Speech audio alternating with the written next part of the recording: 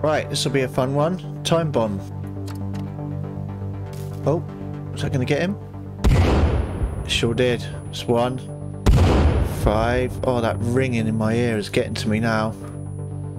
Seven so far. I think this is the same as the grenades. Ten is going to kill him because it's 160 hit points. Yeah, you did.